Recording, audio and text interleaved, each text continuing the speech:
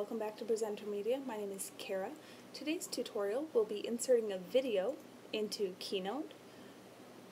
Our animated templates automatically do have videos that play in the background. This example is running the gears and you can see the items playing in the background. The slide we'll be working with today, however, will be the static slide after the first slide. So let's say we enjoy having the gears happening in the first page, but we need something a little bit more generic and serene for a background image on the second slide. Now you'll notice if you click on these gears that nothing changes. You're not able to get the box around them. You can right click, you don't see anything available to you there. However, if you double click, it'll say the object you're trying to select can only be edited in the master slide. Go ahead and click on Edit Master this will pull you up right to the master slide that is dealing with this particular video and this slide in general. So the first thing we're going to do is delete that video. Now you can see on slide number two that video is gone as well as on the master. Our next step will be to grab a video that we would like to use.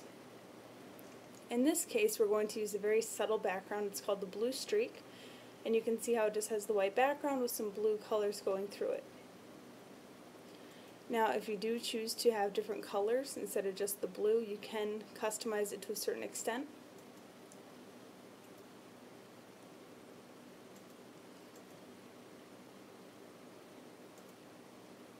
There we go. Now you can see how the preview is showing up below it here. We have this pink coming in, or we have the original blue up top.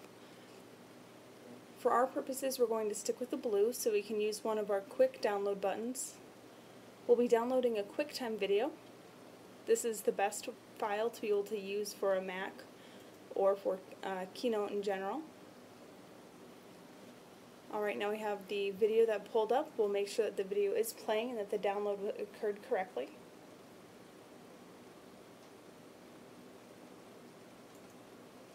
Alright, now I'm going to go ahead and get this out of the downloads folder just so we have easy access to it. I'm dragging it onto our desktop here. Alright, the next step for Keynote is very simple. We have two options. We can either go to Media, which will pull up anything you have in your photos or in your iTunes, or you can go to Insert and then go to Choose. This will give you the option to go to Downloads, or in our case the desktop where we do have the blue streak saved, and it'll show you the preview.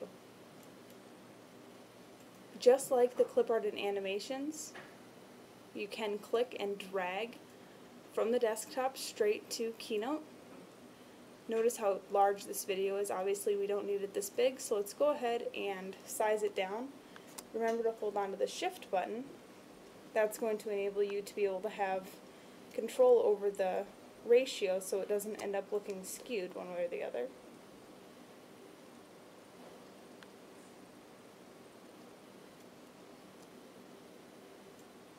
Alright, now we have that video the same size as the slide. As far as the width goes, I'm going to go ahead and move that up just a little bit.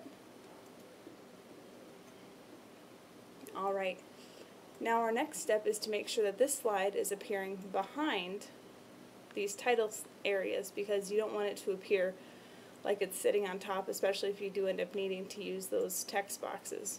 So right click and go down to send to back. Notice now how the video falls behind that gray box. Let's go ahead and leave the master view. And now we can go down to our static slide page.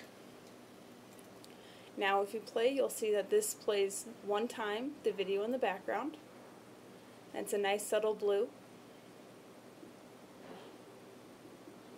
And then you see that it stops just like inserting our GIF images, the same step for this will be to go back into that video and tell it that you would like it to loop. So go back up to your master slide and click on the video. Then go to your inspector. You'll find a QuickTime option at the far right hand side where you can choose where the video starts and stops. You can tell it to start when you click, and you can tell it if you want it to repeat. In our case, we would like it to loop, and once we've taken care of this, we can go ahead and save.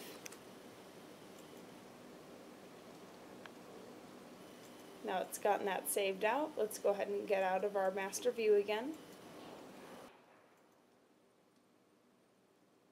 Alright, now here we go. We have that video playing in the background that we downloaded from our website. Again, as a reminder, make sure that you're downloading the QuickTime or .mov files. That's going to be the most compatible file format for your Mac and the highest quality image. That's all for this tutorial. Again, my name is Kara with PresenterMedia. Thanks for watching.